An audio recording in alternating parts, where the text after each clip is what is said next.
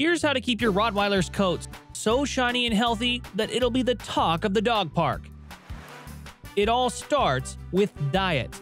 So, the food you give your dog really impacts how their coat should look. Premium dog food that lists meat as the first ingredient is what you should aim for.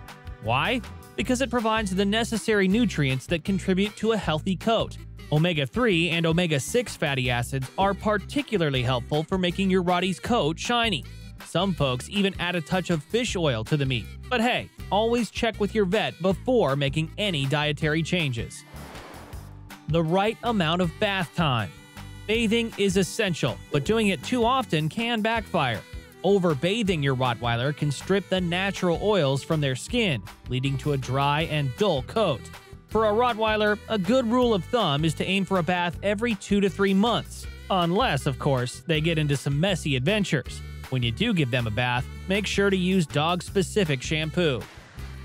The art of brushing. Rottweilers have a double coat, meaning they have a visible top coat and a hidden undercoat.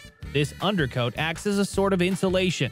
While Rotties aren't the heaviest shedders, they do shed, especially when the seasons change. That's why brushing at least once a week is a must. It not only gets rid of loose fur, but also prevents any mats or tangles. A rubber grooming mitt or a stiff bristle brush is perfect for this job. Plus, brushing helps to distribute natural oils, giving your dog's coat that extra shine. Those extra steps matter. Keep an eye out for any parasites like fleas or ticks, especially if your Rottweiler is an outdoor adventurer. These little pests can wreak havoc on your dog's skin and coat.